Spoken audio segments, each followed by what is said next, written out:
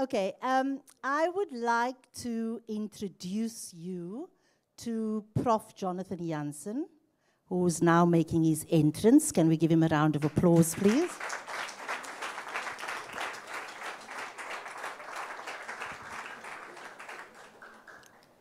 So, Prof. Jansen, I, I actually heard from him the first time when I was actually, not that I travel much, but I was with Fritz Hahn, who was the first director here. And uh, Fritz and Barry Green and myself went to the ASAF in um, the Academy of Science in, in Paris, actually. And Fritz said to me, You know, Zenobia, you should really get to know Prof. Jansen. You will like him very much. But I must say, I was very scared. Okay? and so um, over the years, I've got to know you, and I'm so grateful that you can be here um, with us today to commemorate this Human Rights Day and talk about the intersection of mathematics and human rights in a way that you seem fit. So, Prof. Jansen is a, if you don't know him, he is a distinguished professor of education at the University of Stellenbosch. He's also the president of the Academy of Science of South Africa and a Knight Hennessy Fellow at Stanford University. He's written endless number of books. I mean, he pops these books out weekly. Um, but he started his career, so I'm not going to give the long list, but he started his career as a biology teacher in the Cape and holds a PhD from Stanford and other honorary doctorates from Edinburgh, Vermont, Cleveland State, and the University of Cape Town. The books that he's written that has impressed me the most are Knowledge in the Blood, and I hope you brought my copy with you. Um, the Decolonization of Knowledge and Corrupted, a study of chronic dysfunction in South African universities. Like myself, I'm also a disruptor, so um, for change. Um, he was also recently elected to the American Academy of Arts and Sciences membership, and he holds an A1 rating with the National Research Foundation. Can we please put our hands together to warmly welcome you, Prof. Jansen, for your keynote talk.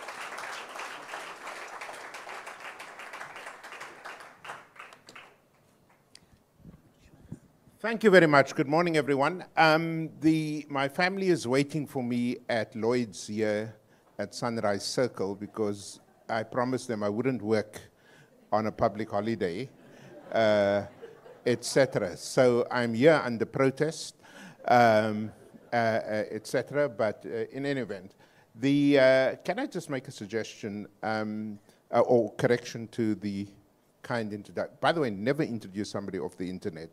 Half of that stuff is already irrelevant, you know. But um, uh, let me just say the I'm not a distinguished professor at Stellenbosch University. I need to correct that my letter of appointment was written by an Afrikaans uh, Tanni uh, in HR, and it says I am an extinguished professor, you know, so um, could you please be more accurate next time, you know, I'm, I'm extinguished. Um, anyway, uh, just down the road here, not too far away where I grew up, in fact, right next to the family home in the retreat, um, uh, is a school that got the worst results in mathematics uh, and accounting at the end of last year in the NSC exam, the National Senior Certificate. So, you know, because I've worked in all the nine provinces with schools, I felt it my duty to respond to this call, to, to, to the crisis at, at the school. So I called the head of education uh, in the province and I said to him, Brent, it would be absolutely, absolutely uh, irresponsible if I didn't say to you that I'm like to help that school turn around, both the whole school, but also especially in, uh, in the subjects where they struggled. He jumped out of his skin and said, yes, yes, yes, yes, yes, can you start tomorrow? Um, so every morning I start at 7.30 at the school, and then at 1 o'clock I drive along the coastal road here, all the way to Stellenbosch to meet with my research teams and, and other kinds of things that I do uh, on campus. Um, the only difficulty is the mind and the body don't talk to each other anymore. So the mind wants to do what I did when I was 38, you know, uh, and, and not 68. So it's, it's, it's exceptionally tiring, but enormously fulfilling. So let me tell you about mathematics. Obviously, I know nothing about math, right? Uh, in primary school, my mathematics marks were negative integers because in those days, if you guessed on a multiple choice question, they would, do you if you're old enough, you remember this, they would take away marks. So my marks in math were always like minus 16, minus 19. My goal was to get to zero, just to get to zero on the number line, you know. Uh, so it was really, really tough. I just couldn't understand it.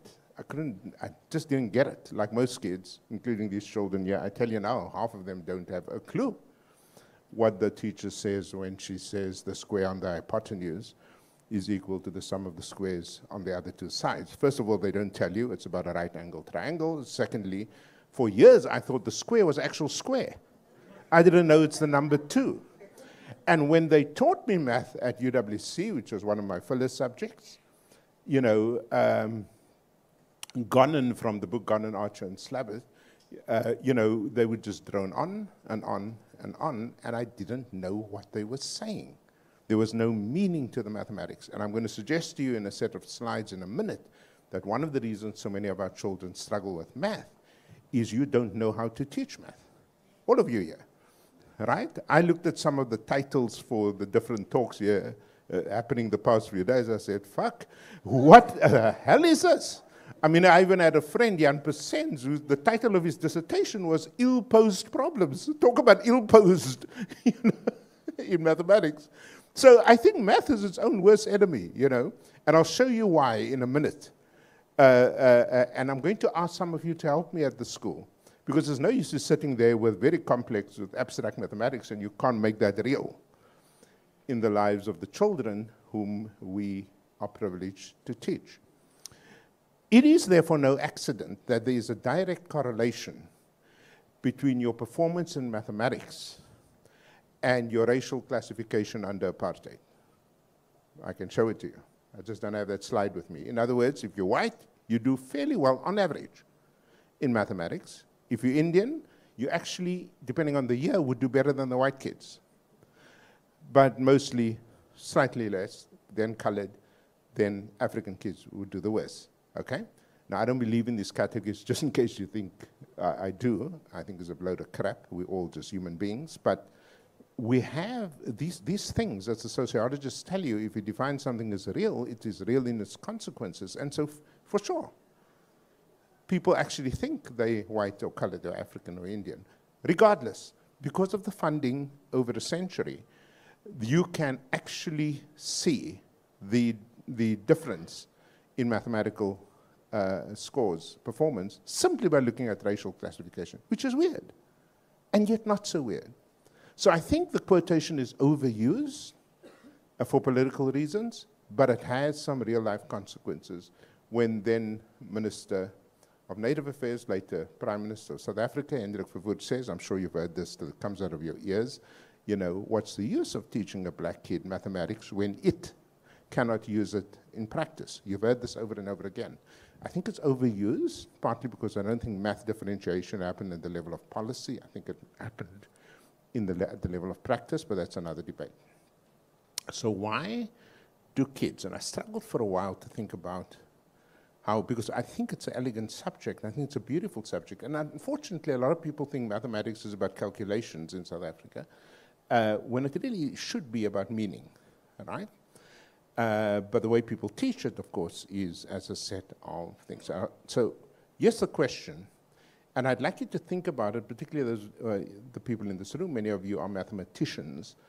Think about what this means for the teaching of mathematics at any level, okay?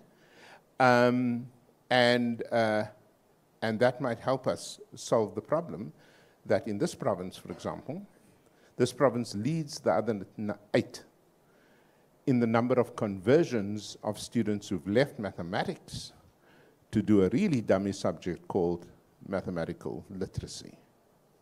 Okay, why? Because they've come to believe that children can't do mathematics. right? So you have this huge number of math lit. I don't know if you've seen these math lit questions. It's hilarious, you know, at, at many levels. Is that Prof. Loyiso there? Yes, oh my word! I, sh- I should have. I should have. I should have prepared. Uh, um, and so on. So let me just go through uh, the slides. I know, Loyiso, I've shared this with you in a small group in Stellenbosch recently. Uh, let's go to the next slide. Whoever's, if you can help me there, that would be really great. So, as I said, you know, one of the reasons kids struggle is they, um, they don't teach math for meaning. And I've tried this all over the world, by the way. When I get to a uh, school class, to high school, uh, primary school, the other day at Wynrode in Claremont, nobody can get this simple question right. Okay? So this is where you look me in the eye. You don't try and dodge me. Okay? Because when I come with a mic, my goal is not to make you feel stupid. My goal is to make you feel the way kids feel when people come to them with these questions. Have we met before, sir? So here is a question that I ask all kids and nobody's gotten it right yet. A man, South African society, so I have to honor patriarchy, a man has six goats and four sheep. How many pigs does he have? Coming back to you in a second. Just think about, don't rush to the answer. There's a lot of people here going to think less of you. Did you hear the question, ma'am? Okay, answer. Not enough information about pigs. I can see you avoiding eye contact. Mm, no idea. You can't say no idea when this is such a fundamental, elementary mathematical problem. I, I, at the Free State, I used to teach all first year students in a compulsory curriculum. And when I came to them with the mic, they would, they would panic. And I remember this one kid, she didn't know Afrikaans is my second language. So when I came to her, she started to pray. And she said in Afrikaans, Ach, Here, dear Lord, mag hierdie plaag net verbygaan. Let this plague pass over me. Six goats, five sheep, how many pigs? You cannot say I'm Muslim at this point. so, I don't know. How the hell can you not know? Aren't you a PhD in mathematics? No. Oh my God, we're going to struggle. Sir, you look like a man of wisdom. Great wisdom. But I, I don't know. I think that I, I can. I am about to slit my wrist. All of you have told me you don't know the answer. How do you expect the kids in grade three to know the answer when you don't? Back to you, sir. Well, they can guess. I don't want them to guess. I want you to tell me the right answer. The right answer is I don't know. And why don't you know? Because you did not tell me. What did I not tell you? I don't know. Sir, this is not a philosophy class. This is a mathematics class. Things are finite, they are real. Oh my God. I honestly thought this would take two, 10 seconds. Yeah, yeah, yeah, yeah, yeah. Sir, you look like a professor of mathematics. Please help me.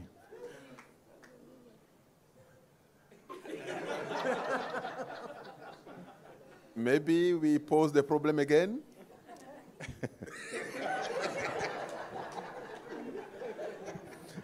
Five goats, six sheep. How many pigs? I don't know. I don't know. Why don't you know? Where do I see them? Oh, you need to see the pigs. oh my lord! This I, I honestly thought this is a, a, a you told me. Is, am I in the wrong? Is this mathematicians?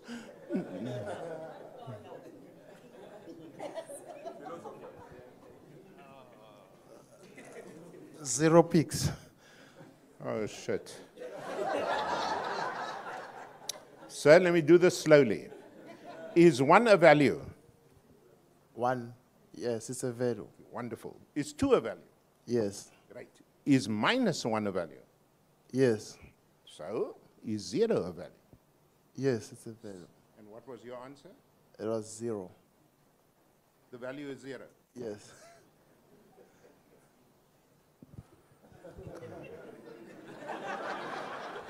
You laughed outrageously at my lame jokes earlier. It's unknown What is unknown? How many pigs. And how do you get to, you know, I don't know if you, about you guys, when I was in primary school, the teachers used to have, I, I thought it was the most wonderful invention. The teachers would sort of say, the, the right, uh, you know, do a column on the right hand side. And what must you do in that empty space, ma'am? Right numbers. With an X. What must you do in that empty space? Next to the mathematical problem on the left hand side? Your calculations, that's where you. Show your reasoning. Show your reasoning. Kirsten next to me told me. You know, with all the problems we have in higher education with plagiarism and, and ChatGPT and the integrity of assessments, this, you volunteered that information.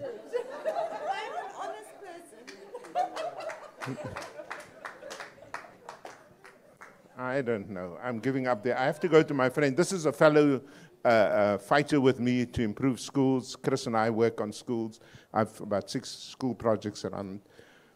And Chris, I've asked him to help me, and he's a very wise man. Chris, I need to get on with this lecture. Could you please just tell me what the answer is? You need to repose the problem. Uh, Nine cows, seven leopards, how many pigs? It doesn't matter what those numbers are. what is the second one? Seven? I don't know, baboons. How many pigs? No pigs. I, we just established that zero is a value, and so therefore saying no pigs is not helpful. How do you know it's zero? There are no pigs listed here. Does that mean there's zero pigs? In that context, yes. Of the problem. Did I tell you how many cows there are? Yep. Did I tell you how many baboons there are? Seven. Right? Did I tell you how many pigs there are? No. Therefore, the answer is No pigs. Zero. But zero is a value.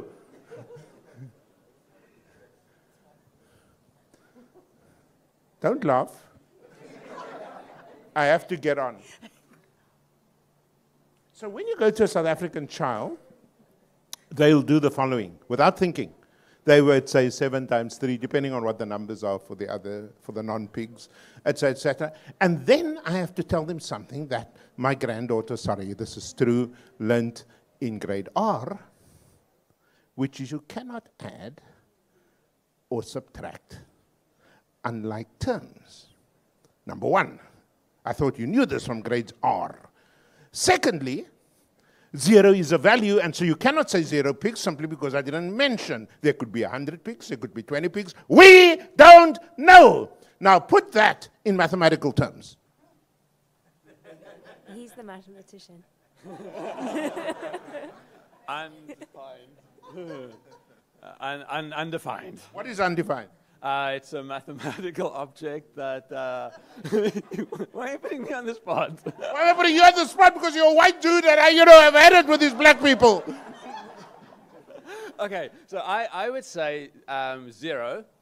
With no, no, hang on, hang on. With with with uncertainty, because uh, I've never seen a farmer farm with pigs, goats, and sheep from data uh, in Mpumalanga. And so I could write in my argument, I have, in all the farms I visit, never seen an example in South Africa where a farmer does this. And so I, I would guess ze- zero. Holy shit. This is not an anthropology class, this is a mathematics class, you know.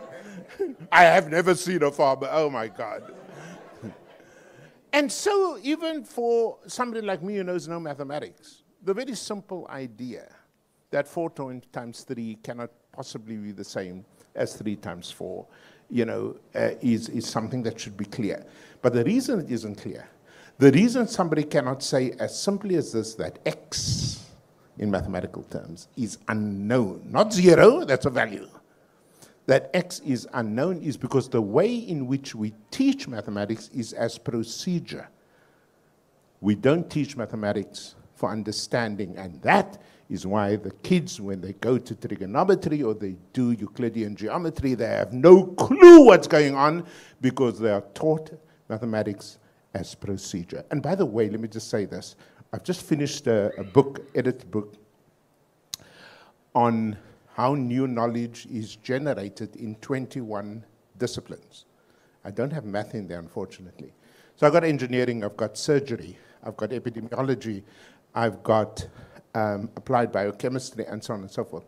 And I asked these 21 professors, 20, I, I wrote one for education, to tell me how new knowledge is generated within their particular field. Do you know how difficult that was? You know why? They could explain that to other people in process engineering. The moment you ask them to explain it to non experts, with a reasonable education. They didn't know how to do it. Why? Because they can't teach. That's what teaching is. Teaching is to take something that is complex and known to you within your discipline and make it accessible. That's the mark of an educated person.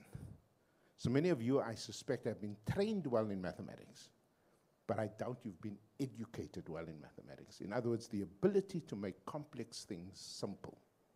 That's the mark. There was a man that did this. He was at Loyiso's University when he was the vice chancellor there. His name, he just died recently, his name was Harry Seftel, a physician. When Harry went on radio and explained to an auntie in Soweto what bladder infection was, I used to get so excited, I wish I had one. He, that's how how well and how juicy, I mean, it, he could explain, he could step out of, you know, his role as a general practitioner, and he could make things simple. And that, in a nutshell, is why our children down the road and all over our country are struggling with this prince of subjects. I know people say it's physics. For me, the prince of subjects is actually mathematics and so on. And, they, they come from the, you are, even philosophy. No, I know, I know, you're being technical now, but, the, but remember, even philosophy, okay, is the roots of, of mathematical thinking. So I agree with all of that. But you know what I'm trying to do is make you feel good about yourselves after this calamity this morning. Okay, um, so the loss of meaning. The press for coverage. So in our schools, there is one of the most ridiculous curriculum inventions called CAPS. It's called the, uh, what does it stand for? Curriculum and Assessment Policy Statement. You got to, those of you who are not from South Africa, you've got to admire, admire us for making up names, for acronyms. We're good. We're good. We don't know what it means, but we make them up, you know. So there was a OBE and there's a. Now, what CAPS does is to squeeze everything. We used to have the opposite of CAPS, by the way. In 1994, uh, our government decided that teachers had endless knowledge, kids were endlessly creative, so they created something called outcomes-based education, giving you broad outcomes to achieve, and how you got there was up to you. Isn't that wonderful? And then the shit hit the fan. Okay? And just so you know, I wrote 10 reasons why this thing is going to fail. And ever since then, I've never been asked to do anything for my government. They asked my students, but I'd be because they don't like the truth. It's an immature democracy, right? But as a teacher of the life sciences, I knew that many of our teachers wouldn't know how to go into the environment and teach plant sciences simply by looking at local, uh, uh, you know, uh, uh plants. They just don't know how to do that because they themselves, most of them, were poorly trained. In any event, so they did the opposite. This is what happens in curriculum history, by the way. It swings like a pendulum from openness to complete closeness. So now they tell teachers every second of the day what you must teach. Here's the problem when you pack in a lot of content, you're not able to go back and revise. You're not able to go back and remind. You're not able to go back and, and, and, and rebuild. And so you're just trying to finish the curriculum. And when coverage is a priority for a teacher, in mathematics, you are going to struggle. And that's one of the other reasons our children uh, don't do well. Then the experience of embarrassment. My great fear when I came back from studying overseas, uh, I came back with my two children. My boy was ready to go to grade one, and I had a big fear that every South African parent has is the day the following is going to happen. What's the following? I'm at the University of Durban Westville before the merger. Phone call comes through. Professor Johnson, we'd like to see you at your, the school. Your son is in serious trouble. And I called my wife. I said, Don't worry, it's not serious. I, know, I can imagine what this is going to be. So off I go to the school, and Mr. Paylord is sitting there looking very red, as he usually did because he drank a lot. And next to him sat the math teacher. So I said, now I know myself, look, I know most parents say this, but those of you who've met my children will know that what I'm about to say is true. My kids are perfect. they don't smoke, they don't drink, and they believe that sex is for marriage. Don't look at me like that. It's not my beliefs, you know. They're good kids because my wife raised them to be good kids. They come in here, they never sit down until they go to all of you and greet you. That's the way we raised them.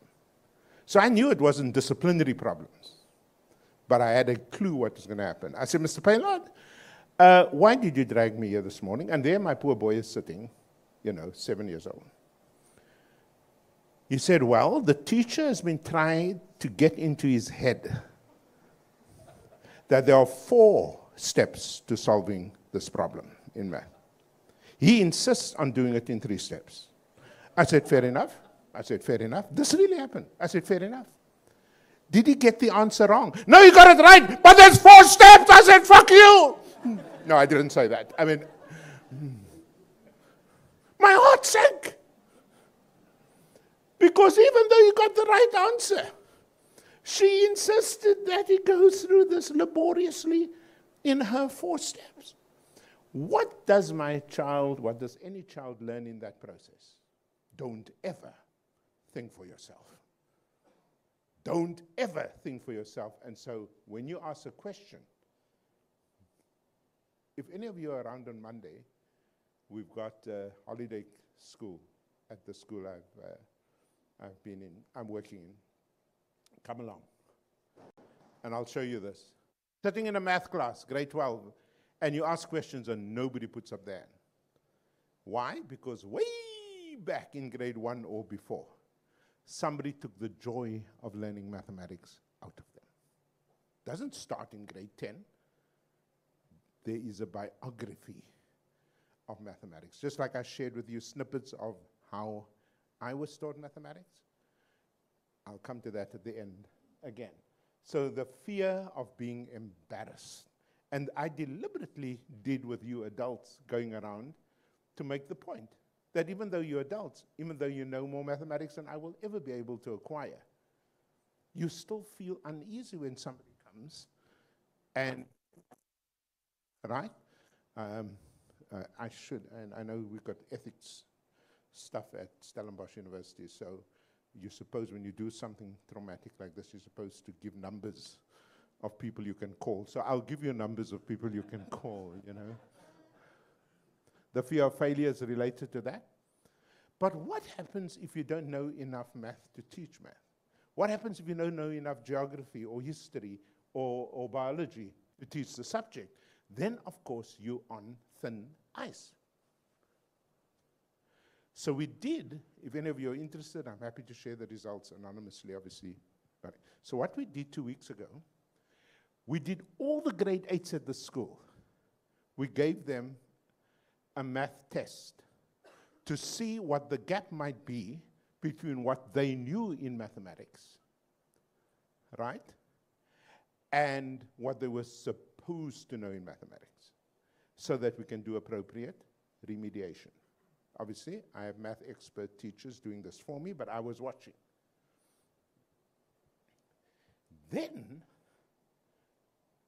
Dr. Cranfield said something else. He did his PhD in math ed at Michigan State University, East Lansing. He then says to the kids, grade 8, put the name, uh, write the name of this primary school from which you came last year. I didn't know why I was doing that. And then I realized how brilliant that was. Well, first of all, most of the kids couldn't spell the name of the primary school where they had just spent seven years, which itself freaked me out. But secondly, we could see which primary schools were not teaching basic mathematics well enough. So, what are we going to do starting next Wednesday? We're going to those schools and say, we're going to bring in people to help teach the teachers mathematics so that you don't pass the problem on to the high school in grade 8. So now there's build the math, etc. Et but if you don't know enough math, now South Africans believe in miracles. I blame Bishop Tutu. Because, you know, he called us a miracle nation. And in many ways, we are in a political sphere. But if you don't know math, you can't do math. Where are you from, sir? Ah, oh my word. Please, would you mind please standing up? Sorry, I, I got goosebumps when the brother said Cameroon. What, sir, just happened with a citizen of Cameroon? Um, You said no before I got to you. Yes, I said I have no idea. what just happened with a citizen of Cameroon? I have no idea.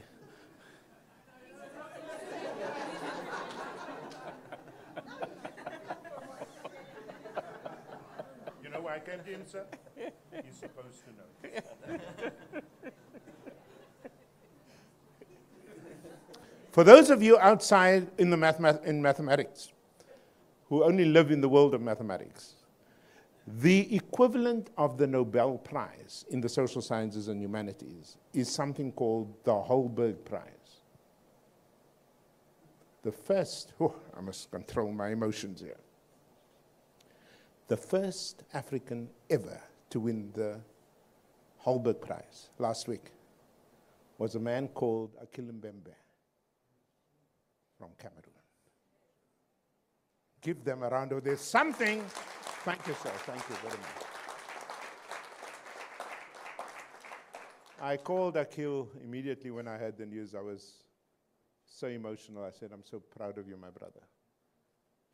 First African to win the Holberg Prize. Where does he work? yes, I think you interviewed him for the job. He said he, uh, he was interviewed for you at Wits University, etc., uh, etc. Et wow. Let me tell you, despite the shit we get up to here with our xenophobia, our universities look great because of Africans from other African countries. Thank you. You can applaud because it's true. And whether it's Kelly Chibale in medical chemistry at UCT or Kiel, uh, we look good because of our neighbors, uh, etc. But if you don't know enough math, you can't, or anything, you can't teach the subject with confidence. But then there's also something called pedagogy, which I referred to or intimated uh, the ability to teach the subject. Now, many of us had mathematics teachers who were really good. Uh, my mathematics professors were very good with the first part, the content, but they had no idea how to break it down. How to break it down. And so learning how to teach uh, in, in is, is a very important part, obviously, of the reason for our inability to teach. Oh, let me just say this. Mathematics, in my view, is the only subject you cannot teach for the first time in high school. You can even teach accountancy for the first time at high school. In fact, I know accountants like uh, the former head of FNB, Sizwe. He didn't do accountancy at school at all, but he became a chartered accountant. In other words, you don't, but mathematics, if the number concept isn't established in the early years, you can't simply make it up as you go. Okay, because of the cumulative nature of mathematical uh, knowledge, uh, etc. And finally, what I call the enthusiasm gap. You know, when I came in here this morning, uh, uh, I felt really bad. I'm, just, you know, there's no place for me to park. Now, any of you know, if you're going to have a keynote speaker, for fuck's sake, at least make sure there is a parking space. there was no parking. Who was with me outside? Who, who, who was with me outside? Do you remember how I looked for parking? I had to park over there. I'm dead sure that my wheels are clamped, you know, and so you're going to have to pay the unclamping uh, fee. You know, I came in, but the real point I want to make is as I looked at it, I said, I can see you mathematicians because you're all looking down. Yes, sir, but we're measuring the area of the, you know, tiles or whatever. If you are a teacher, whether it's in a school or a university, and you do not, from the depths of your being, exude an enthusiasm about the discipline, can I ask you to go and sell car insurance? You don't belong in a classroom.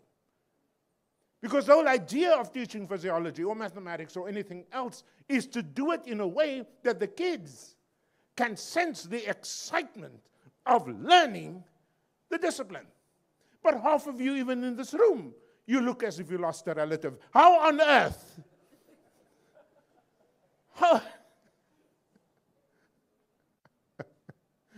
how on earth do you expect the kids to get excited about mathematics when you look like a bereaved person? And the whole idea of teaching your subject is not only to know the content and to be experienced in its pedagogy, but to show that if you don't know my subject, your life is over. I don't want to racialize things because this is South Africa and we racialize everything. But it is true. My last three universities were historically white universities. I work in faculties of education, and every year, until recently, I would do a, um, a survey with first years. And I say to the first years, who are mainly white Afrikaans speaking women, I said? Why did you decide to become a teacher? Without fail, at Pretoria University, at Free State University, now at Stellenbosch University, they would say the same thing. The reason I decided to become a teacher is my grade 11 history teacher, is my grade 4 uh, numeracy. Uh, they would refer to a teacher whose very example was something they wanted to emulate. One of them even told me for years in primary school, I did not think that teachers used the toilet. That's, they don't produce waste products. They're at another level. Right? And I'm telling you now, when Gonan stood at the University of the Western Cape for an entire 50 minutes with his back to his Math 1 class in which I sat, and he spoke to himself for those 50 minutes. I said, Why the fuck don't you go home? And did I not, if I had not stumbled across, I told Loyiso this story and some of his colleagues, if I had not stumbled across a set of books called the Schaum series, in which they laid out in categories the different kinds of mathematical problems, for example, in calculus, I would not be here today. Because I could then teach myself. I didn't know what I was learning, but I knew how to calculate stuff per category. That's not learning, by the way. And so when you step in front of a class, whether it is doctoral students or first year students in mathematics, I beg you, show some signs of life. I beg you, pretend you love your subject. Because if you don't, don't expect a teacher in a school to teach mathematics as if their lives depended on it. Now that I've depressed you, can I tell you a joke?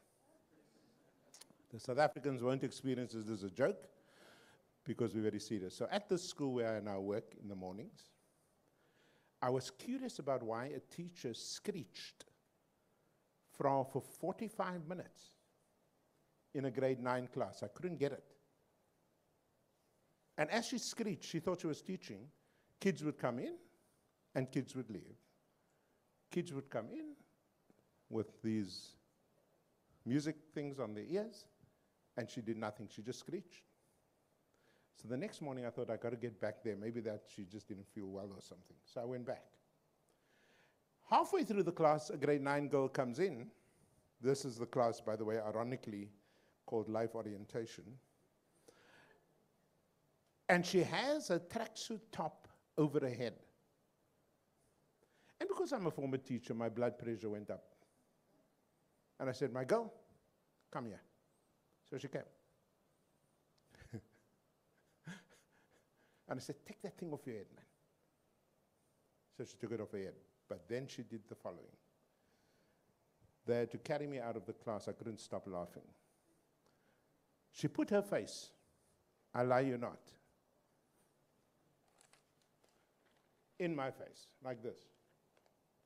Now, you know, I'm quite an intimidating guy, big, black, overweight, you know. Uh, she put her face in my face. She took her index finger.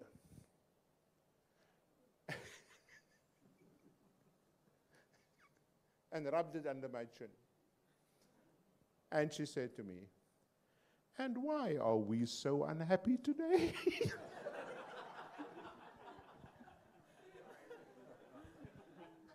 Thank you so much, Prof. You give him a round of applause? Thank you so much. Um, you know, with, with Professor Jansen, you can never plan what he's going to say. So, um, yeah, we'll just leave it at that. But thank you so much for your insight and to giving people across the African continent an idea of schools in our section, in, in, in our country. Thank you so much. Um, and then um, thank you for your cooperation and listening. I'm going to hand you over to um, Rejoice now, who will just close this um, session. And perhaps if there are any questions, we can. You, would you like me to do it? Okay. Okay. Are there any questions to, to, to Prof. Jansen or any comments, please? Now is your chance. Otherwise, he'll come up to you.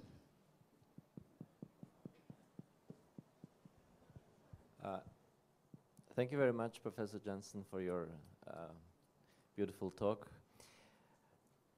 Uh, in your work with the, uh, with the schools, um, is there possibility for us to join you for mathematical enrichment? Thank you so much for asking that. The answer is an emphatic yes. We are putting the children, next week is vacation, uh, through the 3rd of April, 2nd of April. We are putting them through math, obviously, and so on if you wanted to work with us, I would be supremely grateful, uh, uh, and so on and so forth. Uh, not in, and work in two ways. One is obviously with the children, but also with the teachers who are, for example, the, the grade 12 math lit teacher said to me the other day, and I was so proud of her. She stood up in the staff room and she said, I'm teaching math lit, but I have no idea how to teach a section called map work apparently this is about scalar measurements and, and so on and so forth. So, for example, I need somebody to just sit with her and give her confidence in how to teach the basics of map work, you know, etc. The answer is yes. Thank you. And if you could just do the, take, uh, go through Zenobia with my, I think you might have my email. Thanks so much. We've got some questions at the back.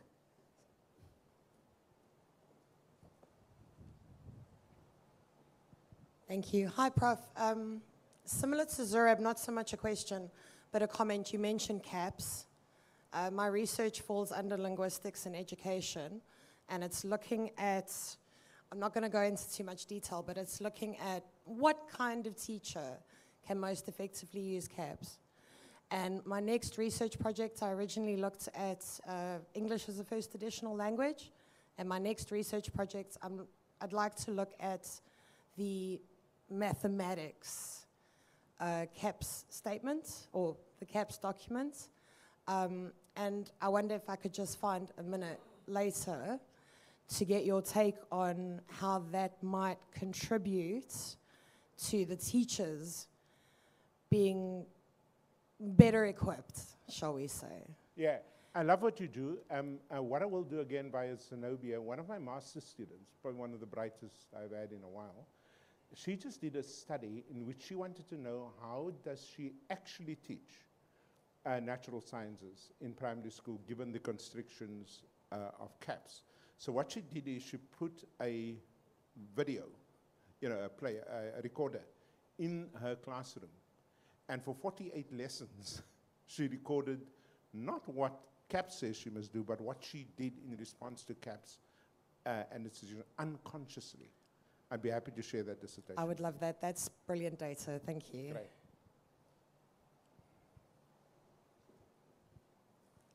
Yes?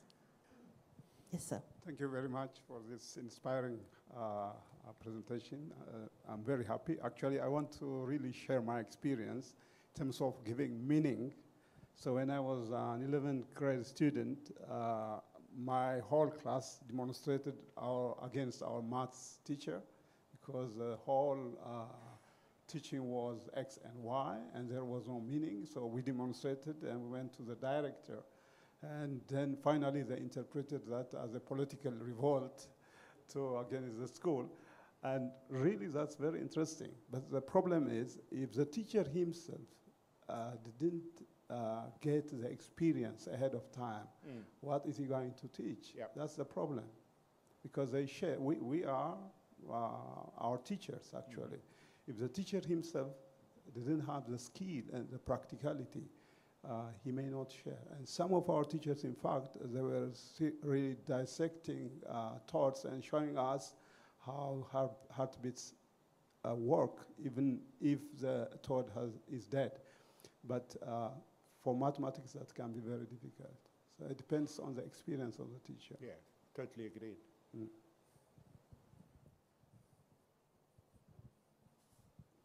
Hi. Hello. Hi. Hi. I'm Italian and I live in Germany. And uh, I see many, many similarities with what you said, with Yeah. what you presented. In fact, you can remove South Africa from the title of your talk, and that would apply probably to many other places. Um, we know, or at least from my point of view, school is sadly an industry. Everything is standardized, everything is streamlined, even uh, kids' behavior uh, uh, has to follow protocols and so on. So, my question is how should school be? I mean, or how can we break through such a rigid you know, system Yeah. and, and try to change things and avoid all these problems that you nicely highlighted here? Thank you. Great question. So I study uh, uh, universities, sometimes schools, universities as institutions, uh, not as organizations. And as you know, when you're talking about institutions, you're talking about norms, values, uh, uh, uh, beliefs that underpin a particular set of behaviors, right? And therefore, we mustn't fool ourselves to think that you can go into a school and overnight change that set of uh, commitments. However, here's the good news. In every country, including this one, not too far from here, I can take you to four or five schools where they have broken loose over years from that. One of the schools is across. Uh, did you guys go to the Kenilworth? To the race course?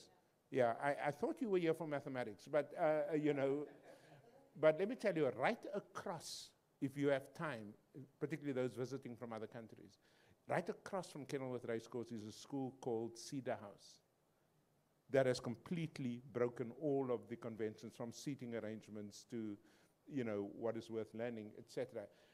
They have done that. Unfortunately, it's very, very difficult when in a normal public school, people are sort of locked into this idea of, for example, you must finish differential calculus by the third term or else. You know what I mean? And so everybody rushes with that logic to complete. But the good news, as I said, there are places just around here that have bucked the trend. Uh, sir, yes. Mama Foupouagnigni. So I'm Cameroonian, as you know, professor of mathematics, as you guessed. And uh, I must say that your talk really uh, speak to me because uh, I've been involved in the design of the teachers training program in Cameroon, which has now been replicated to Rwanda. And um, when you find yourself in a place where you have to take action having severe impact on the life of many generations, you become someone living with fear. And when you get to know how mathematics teachers are trained in from primary school, secondary school, and most importantly, how they are evaluated and how the curriculum is designed by those, most of the time, who have not been trained for, you live in fear. Mm. So, um, there is a lot to do and maybe to rethink globally how mathematics should be taught in primary, secondary, and even at the university. But let us have uh, a hope. I have uh, two questions for you. The one is to ask you to elaborate a little bit more about your say that mathematics is its own enemy. The second question is about what we usually mention as the definition of mathematics. If you want to stress a mathematician, ask him to give you a definition of mathematics and to give a definition of mathematics to non-mathematician. You will be surprised. Usually, since I'm the center president of AIMS Cameroon, so usually having to give talk to non-mathematician about mathematics. And I say four things. One is that mathematics is human activity. Two, mathematics is part of our culture. Three, most importantly, mathematics is a toolbox containing solution to our day life problems. And finally, mathematics is a must for any ICT or technological development. So which of those four speaks to you? Thank you. Number three. Um, and I'll tell you why. I'll tell you why. Uh, I've now spent enough time with people in, because of being in education, in mathematics education, to understand the marvel of, of mathematics, right? And, and, and I was introduced to the work of a Portuguese, uh, a Mozambican Portuguese, I think, uh, uh, scholar, uh, uh, Gerdes or somebody, Paulo Gerdes, yeah. That, Gerdes, yeah. That, um, it's been a while now, but that convinced me about the cultural basis for mathematics. And the example my colleagues would often use, which makes so much sense to me, if you rounded up all of the kids who used to sell newspapers on the corners of the street, and you said to them x squared is uh, is uh, uh, three or whatever the case might be, work out the value. You know, they wouldn't know what the hell you're talking about. Okay, but if you ask that kid, particularly in the Cape, where money is scarce on the streets, right, whether he or she has ever given a motorist the wrong change after buying a newspaper, they never do. So there is something in the logic, in the culture, in the, uh, uh, the facility of mathematics that we've lost by formalizing it to such an extent that the kids can't see the connection to everyday life. And that's what I love all four of your things. But you know, the, the fact for me that people, and again, remember, I know nothing about mathematics as a formal discipline, but the fact for me that, that people think it's about crunching numbers, okay? I mean, machines can do that. You no longer need to do that yourself, right? And I, for me, the joy of mathematics, those moments, rare as they were, was when my uh, uh, odd teacher in grade standard, we used to call it standard seven, would go to the board and I could see this guy's face light up, you know, and uh, you guys will have to help me. There was a QED or something in what he signed off on on the math problem which I think in Latin meant, which was what we had tried to solve. I mean, I could see on this guy's face, this is big, okay? This, but, but we don't teach with a mystery in mind.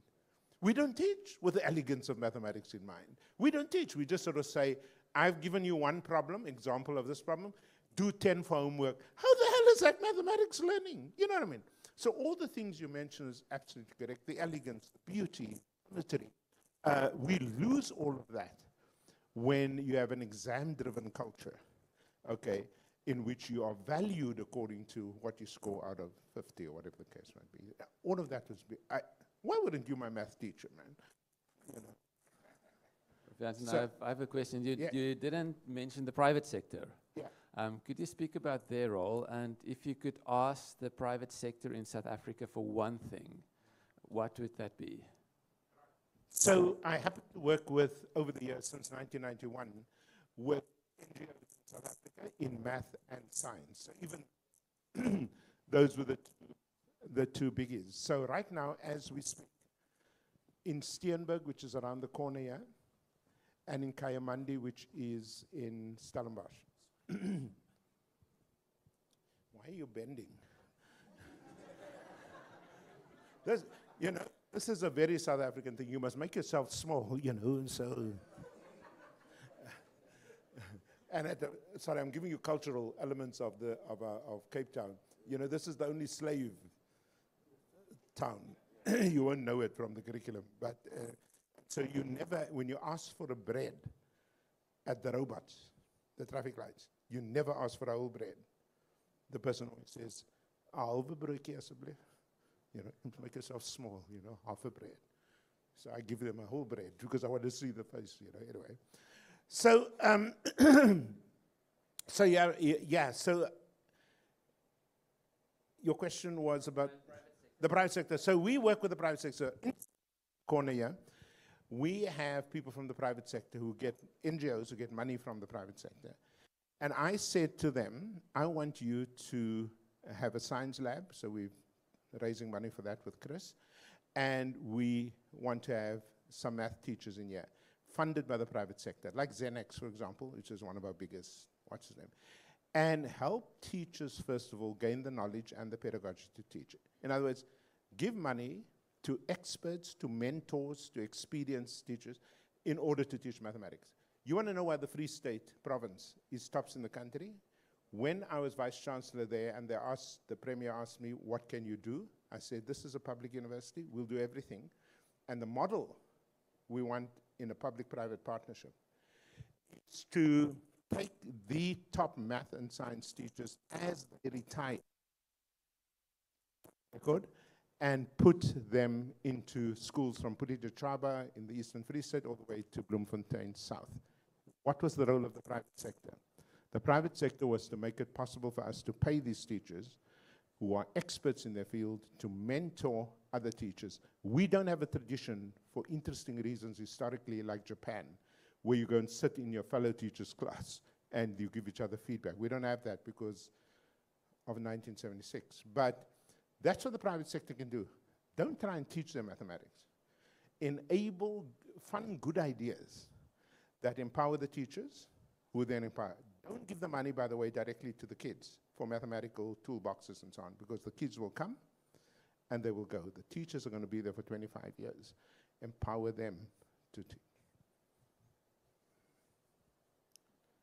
I'm sure by now my wife is filing divorce papers, so I, I should uh, probably get on. Thank you very much, everyone.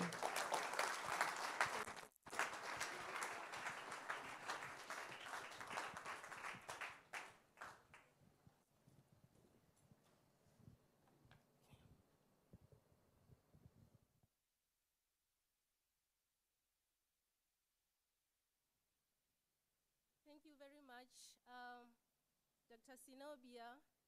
And your beautiful learners for the inspiring morning.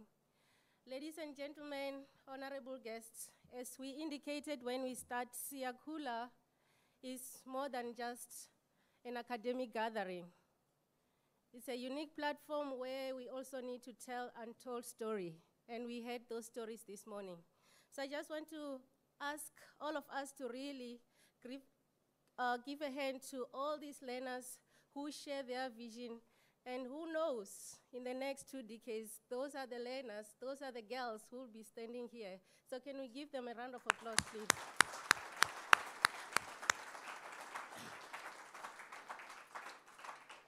Professor jo uh, Jonathan Jansen, we value your contribution to Siyakhula and your solidarity as we strive to advance mathematical science landscape in Africa.